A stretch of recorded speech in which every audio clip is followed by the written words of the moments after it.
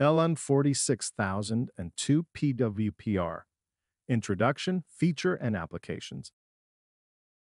LM46002 PWPR Introduction, Feature, and Applications.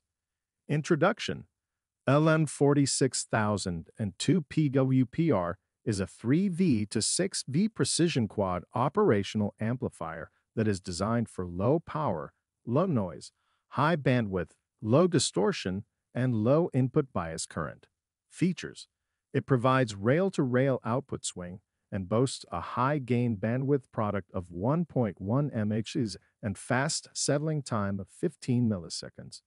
It also features an input common mode voltage range that includes the negative rail, low supply current of 1.9 mA, and low input bias current of 2 Na application.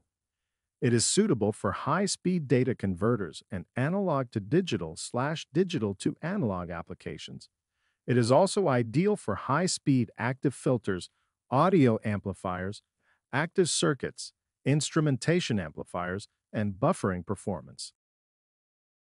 Thanks for watching our video. Please like and subscribe if you like our videos. You can find any electronic component you need on our site.